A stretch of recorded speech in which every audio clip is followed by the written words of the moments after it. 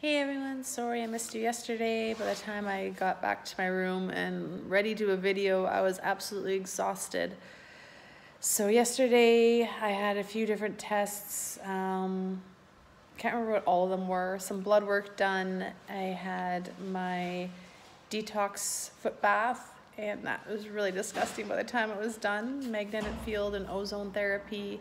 So it's just a bed that you lie on and it's magnetic but they also give you oxygen that you breathe in with ozone in it and it's just to help build up your immune system get it going again as well as they did a live blood analysis which showed that I am low in iron, low in vitamin B, B.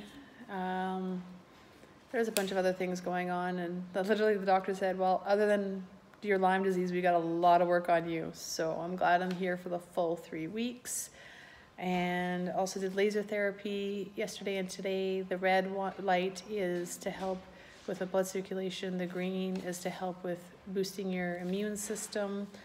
I had my eyes checked, my heart checked, my lungs checked, energy levels in my body, um, and a colon cleanse. So that was interesting.